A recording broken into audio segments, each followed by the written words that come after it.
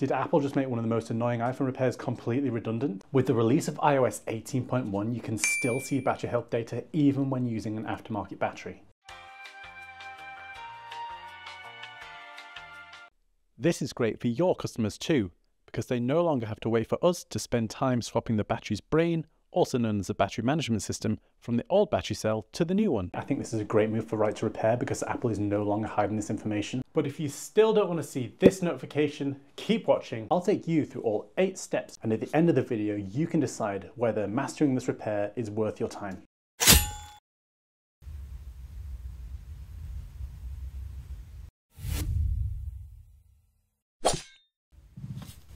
First things first, we always want to turn off the device before we start doing the repair. Then we start to remove these two pentalobe screws from the bottom of the phone.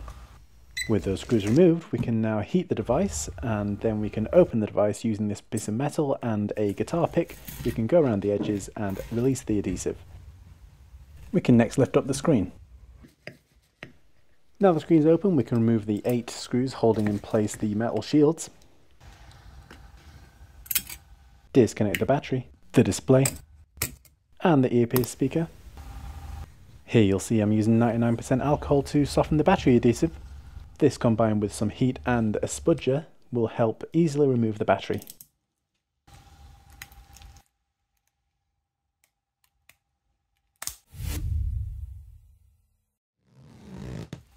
Now that the battery's been removed, we can give it a good clean using the spinning tool.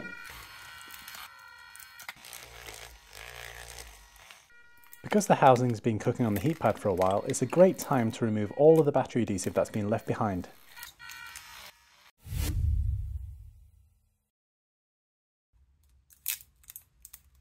Finally, we are at the fun part where we get to disassemble the battery. There's not that much holding the battery together, just some tape and some protective shields. We use a pair of ceramic scissors here to remove the BMS from the battery cell. Cleaning the BMS requires a good rub with some alcohol.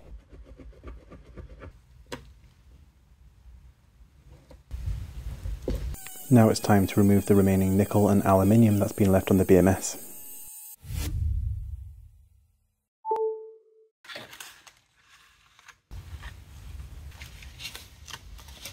As you can see we've got a brand new battery cell.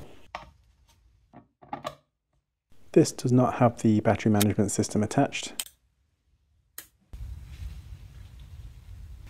These cells always come with a little bit extra nickel and aluminium that need to be trimmed. At this point we can use our spot welder to attach the battery management system to the brand new cell. You can see here it's perfectly attached and ready to be assembled.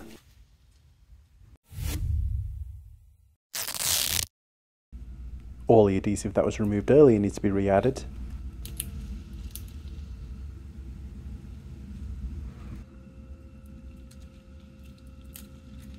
The original protective shield needs to be put back onto the battery and folded into place. Now we add the final aftermarket plastic shield and we add the sticker to make it look good as new. And if you made it this far in the video, I would really love it if you were to smash that like button as this motivates me to make more videos for you guys in the future.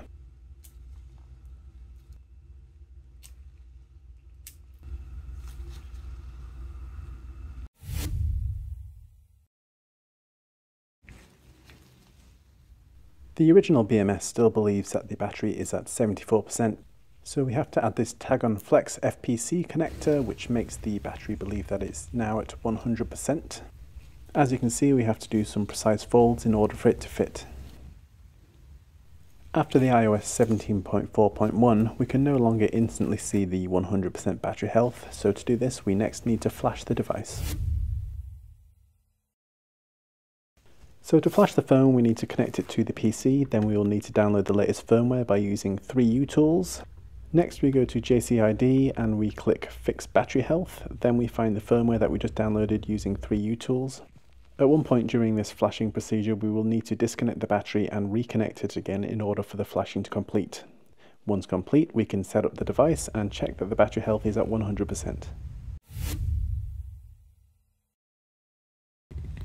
Now the only thing really left to do is to clean and reassemble the device. Adding the adhesive to the back of the battery gives it that OEM finish.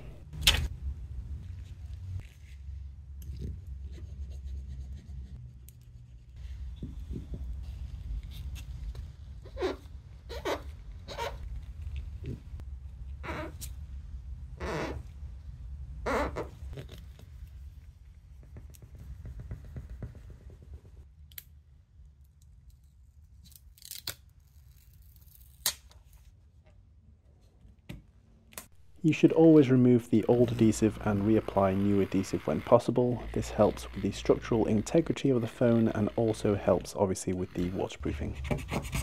In order for the new adhesive to stick properly, we need to clean the outer housing perfectly. I'm using a Q-tip and some alcohol for this.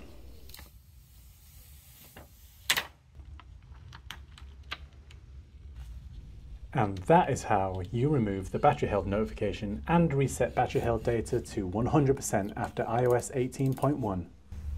This also works with iOS 18.2 and iOS 18.3 beta.